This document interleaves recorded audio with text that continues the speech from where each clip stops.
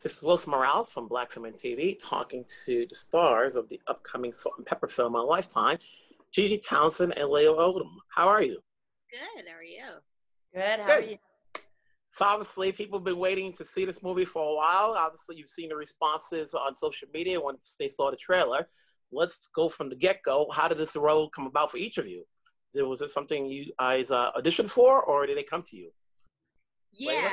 Uh, um, no, me and GG, we both auditioned. Um, and as actors, you get a lot of, hopefully, you get a lot of opportunities to audition. And we we auditioned, and we know that they were seeing a lot of. It was a countrywide search looking for um, Salt-N-Pepa, and we auditioned. It, it might have been like a week later. We go in for callback, then we go in for producers, then we go in for director session. And as we got closer, we were asked to do a little bit more, get closer to the character. We had to freestyle in one of the sessions. We had to work with each other. It was a, a mix and match of, of pairing different actresses together. And we went through all that and we were cast. Mm-hmm. DJ, same response? Oh yeah, yeah, yeah. Um, it was over what a month and a half of just all of that mixing and matching and like she said freestyling always being kept on our toes asked to do you know what's the eight count you know in the room and just yeah just all of that to get us or for them to see who were the best fits for the now the question is you talked about the audition process now the question is why did you want to do it? Obviously work is work but why did you want to go out for this one um, I'll start with it. For me, it was they're a child. Like I grew up on this group. You know what I mean? Um, I respect what they've done in hip hop. I respect what they've done as women, and it was like it just made sense to audition and and want to play this role. On top of the fact that I had a friend who played Bobby Brown in a in the miniseries on BET and we worked together. We had come up with some content. And I remember being on set, like watching him, like, wow, that's amazing. I would love to act and rap and dance and do all of those things. And I said it to the universe, and look at what happens three years later. Mm-hmm. GG? Um, you know, when I first got the audition, you know, I I didn't grow up on them, but of course I knew who they were. So it to me it was an amazing opportunity to even get called in to the audition, you know, because that oftentimes is is a blessing in itself. And, you know, definitely don't take anything for granted. So get in the audition, you know, I I just prepared the best way I, you know, could and went in and, and did my best and, you know, thought how dope it would be to be a part of, you know, this little piece of their history, you know, knowing that they're about to get their star and, you know, everything that is happening for them, you know. So it was just an amazing thing to to be a part of their history, you know. Mm-hmm. And what's that feeling like when you're embodying people you're playing that are still alive? It's a different story when somebody's dead and you know you're you're watching old tapes, but these still you know uh, Cheryl and Sandy are still alive. Uh, what was that like? And did were they on set throughout the whole time, uh, watching perform? Did they give you like input as far as how to play them? Uh, yes, of course. They were on set, but remember, we shot this pre-COVID. So they were still touring. They still had their own professional lives going on. So they came to set.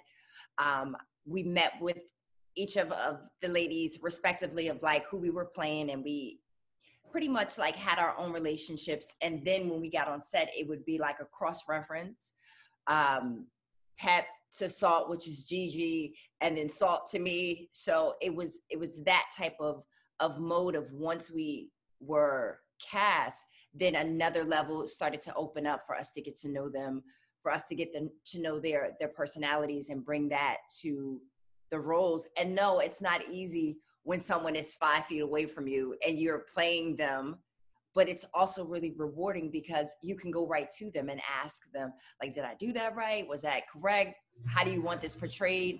And i think that it was more so a blessing than than anything else of having them there. Mm-hmm. how was it for you GG?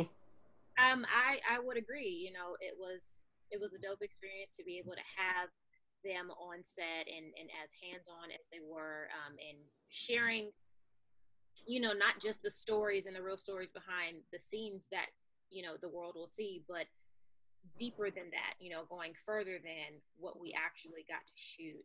Um, and like Laila said, it being a, a cross reference, like Pep telling me, like, yep, that's Cheryl, or, you know, seeing Salt comment on, on Laila, like, you know, it, it was dope that they were both there together and, and you know, they're separately and being able to, you know, co-sign for one another.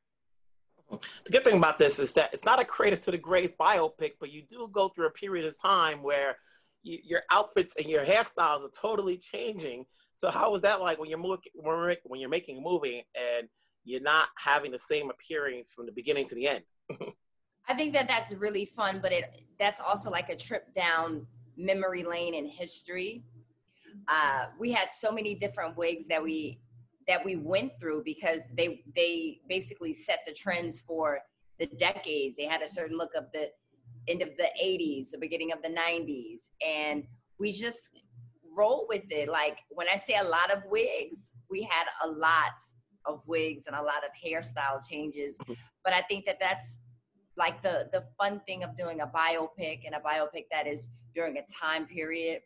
You get to go back and and kind of like embody all of those moments that we like we don't have any idea or clue of but now we do. You know what i mean? Like now now we we do. We understand the fashions better. We understand the hair better. So i think that it was just a really nice addition in addition to playing these women getting to really step inside of their their life at that time and at that time in fashion and, and music and everything. It was I don't know. It was it was it was really like G said. It was just a dope experience. GG, what did you learn? Uh, and both of you can answer this. You know, obviously about these women that you did not know before. You know, like I can go to Wikipedia and see some of the stuff that you guys are doing on screen, but then there's some things I didn't know. You know, was there anything that you know you either you said earlier, you know, you, you, you didn't grow up on them, but you knew of them. Was anything more fascinating that you knew about them once you did this movie? Um, yeah, just the the dynamics between the three of them. So Cheryl to Hurby, Hurby to Pep, you know, sometimes Cheryl being caught in the middle of the two of them, and how even though that was going on, the world didn't know. You know, they didn't let the the drama of what was happening inside of you know their own circle be shown to the world, or let that you know deter the the assignment that you know they had to fulfill. Mm-hmm. How was the choreography once you had to do the dance scenes? I, I know it wasn't no stunt double. no, no stunt double. We had a we had a dope uh, choreographer, Christian Vincent, who lives in LA but is from Toronto. So we got to work with him twice, like in the dance boot camp of like learning Push It. Push It was the the longest production that we had. Um, the experience of working with dancers um, and and learning learning a piece from start to finish in different settings um, different stages it that in itself was work. But it was worth it and it was fun like I, I think a lot of times people don't understand how much work that you have to put into it when you're singing dancing rapping acting at the same time. It's not like an easy feat. So that's that's one thing that i definitely take my hat off to the ladies. Like they weren't dancers per se but they worked their butts off. And i think me and g we did the same thing too.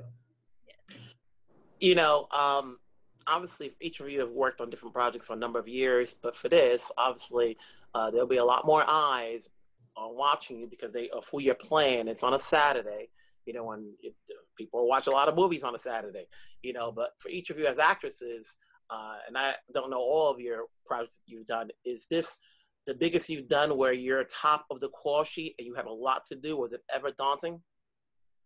Yes, this this was the the pinnacle I've done so far, and it it was tough at times. I'm not even gonna lie, and I definitely had to lean on Laila and my other co-stars, you know, in moments of cracking for sure. Um, you know, and and but working with you know directors like Mario Van Peebles and and just being in in company with the women it's going to stretch you and it's going to pull you into places that you've never been so you know sometimes it may feel like you're going to crack and you know just simultaneously combust but that's growth you know and i appreciate this experience and i i could not have prepared myself for you know being high on the call sheet and the demand that that that, that took but i'm so grateful for the experience and i'm i'm grateful for the people that i shared this experience with because that made it all the better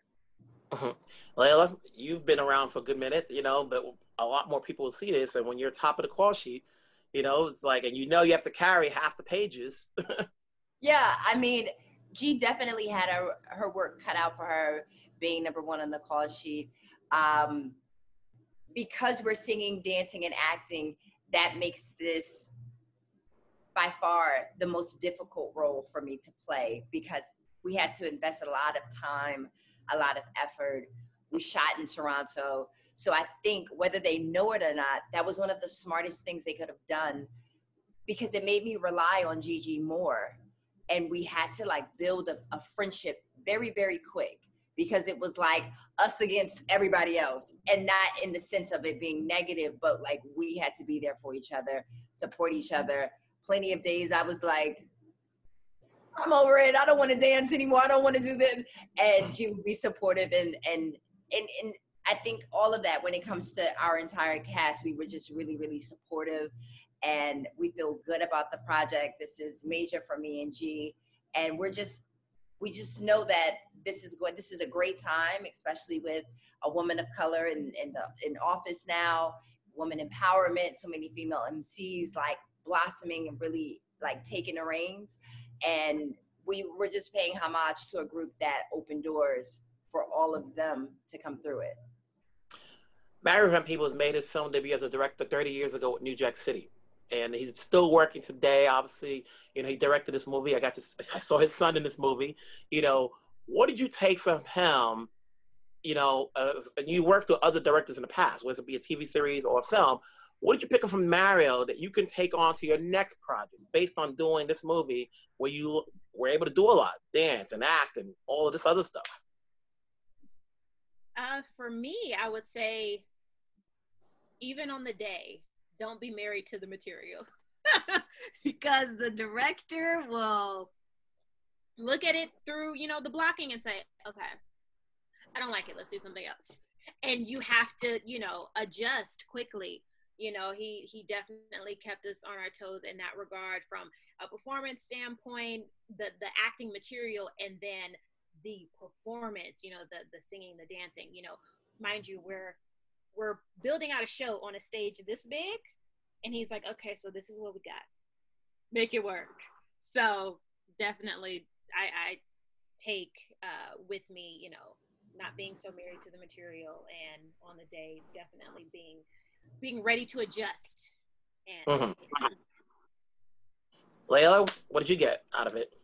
To be very honest with you i have not worked with a director as passionate as Mario. It's it's almost like we just we got we got to be around legends. You know what I mean? Like that's a Hollywood legend. And for us to see him every day and to work with him personally um, was definitely an accomplishment in itself to be able to say I worked with Mario Van Peebles and I took his direction. Like I understand things better. And as an actor, sometimes the best training is on the job training, like G is saying. You have to adjust and you have to be flexible enough to to to adjust and and to give the your director what he needs and i think we we definitely did that but there's no bigger honor than to say like i worked with him for an extended period of time not just like a tv show of like a week but we worked with him for months before i let you go where do we see you guys next You guys have anything else down the road that you were able to film during, pre, or after COVID? during COVID.